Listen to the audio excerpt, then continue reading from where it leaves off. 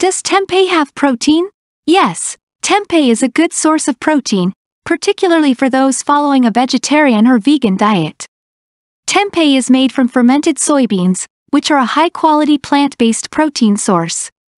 A 100 gram serving of tempeh typically contains around 18 to 20 grams of protein, which is roughly equivalent to the amount of protein found in 100 grams of beef or chicken. In addition to protein, tempeh is also a good source of other nutrients, such as fiber, vitamins, and minerals.